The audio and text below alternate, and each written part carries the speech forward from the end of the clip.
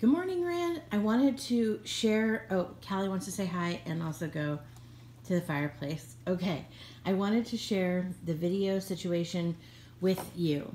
So I have this piece of paper and it says the power for the TV is the long remote and you just hit the red button. The master remote really for all the streaming is the Apple remote.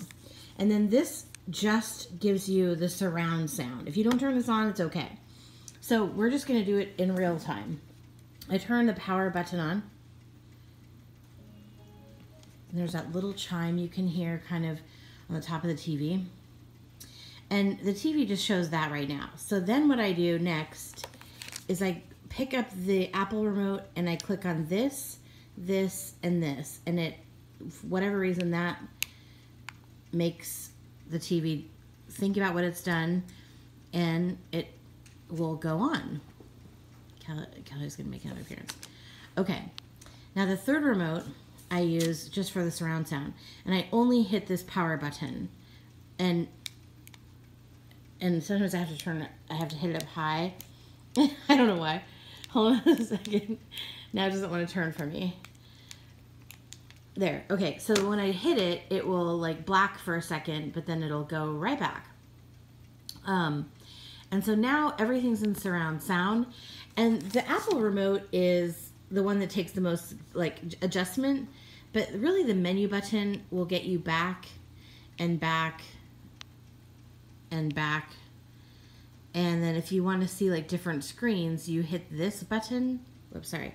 Menu button will get you back, back, back. And then this button, when I hit that, it actually like, kind of like on your phone, where you can swipe between different things. It will let you do that.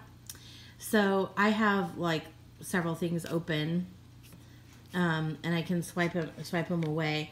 But this is really your master remote for like all the streaming, right? So I just, and then this is essentially like the toggle that goes back and forth ever so subtly and goes up and down. And if I like it, then I can hit enter, right? Um, when you hit enter on Paramount, I am one of the users. It's me and Annette and other people in Annette's family. So I just click on mine um, to see that. But I hope this little tutorial will get you more, um, you know, access. And then just call me and troubleshoot or FaceTime me and troubleshoot. And then when I turn off the TV or whatever, I just exit out of the menu just for fun. And then I only hit the red button off. I don't do anything else. Everything else kind of goes to sleep and then every time I turn it back on. But it will also sleep itself and turn itself off after half an hour. Um, another like fun feature is you can cast things from your phone to the TV if you do the screen mirroring, but that's not going to be part of this tutorial. But I hope that is the trick. Thank you so much again uh, for being here, and I hope and wish you lots of fun watching lots of TV. Okay,